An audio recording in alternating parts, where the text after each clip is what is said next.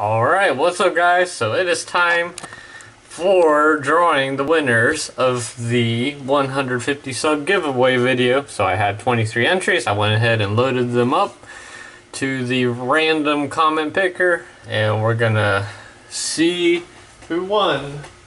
Alright, so I had five items up for grabs. So the first one is gonna be the uh, the headphones. So the first winner is gonna be it's gonna be Jamie Kikukas. Alright, Jamie, you are our first winner. Let me write this down. So congrats. Alright, next up we have got uh, we have got the watch.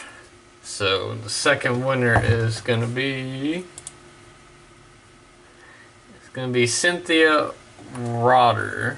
Alright, congratulations, Cynthia.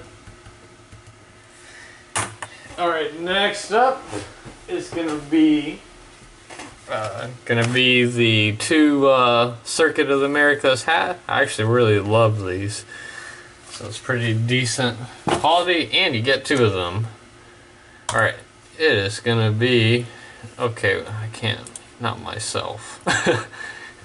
Uh, gonna be Noah. Alright, congratulations, Noah. You got the one the hats. Alright, next up is gonna be uh, this lovely box. It has the two thermos uh, looking cup container thingy. And the fourth winner is gonna be Kentucky Scratcher. Alright, congratulations.